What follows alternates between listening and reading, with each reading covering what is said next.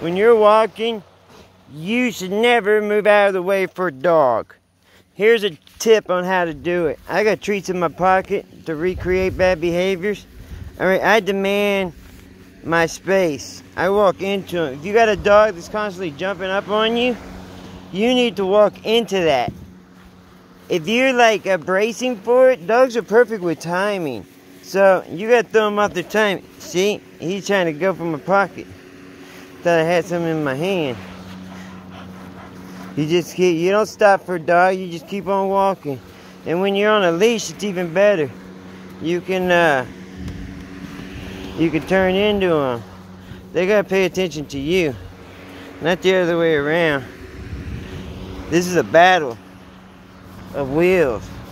Hey!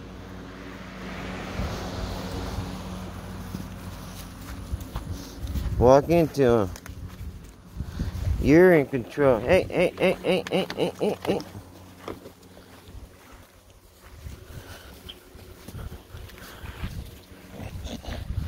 You're not just trying to be a jerk, you're just demanding your space.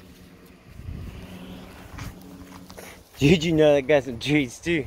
Nah, he's just wondering why I'm being a butthole to the dogs. Now look, uh, if you watched the first video, they were all over me.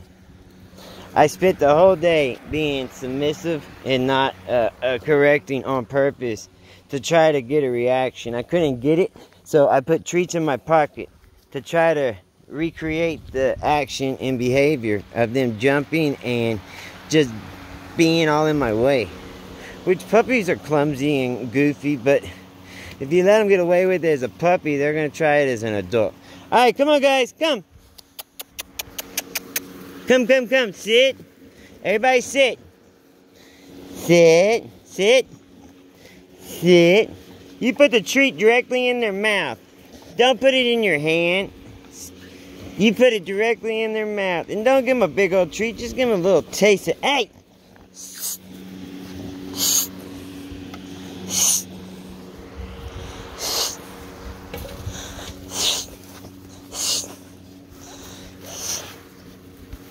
Command your respect. Come on, sit. Good boy. Ah, back up. Good boy. That was the one that was being an asshole earlier. Sit. Sit. Sit down. Sit. Sit.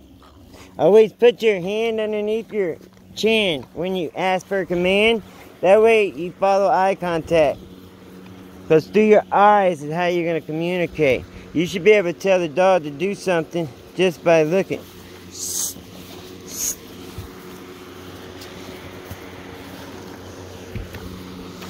Sit. Sit. Sit. Don't step on my toes. If you got a dog that cuts off other dogs, you need to correct that because that dog is determining on who you allow to pad and who comes first. And you are, they're not the ones that uh, set your schedule.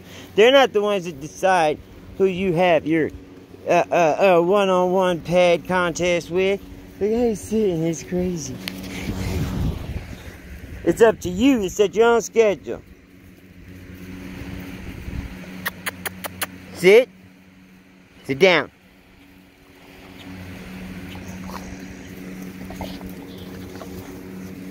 Alright. I got a pocket full and I'm gonna keep it. Oh, it's wet where they were trying to gnaw at it.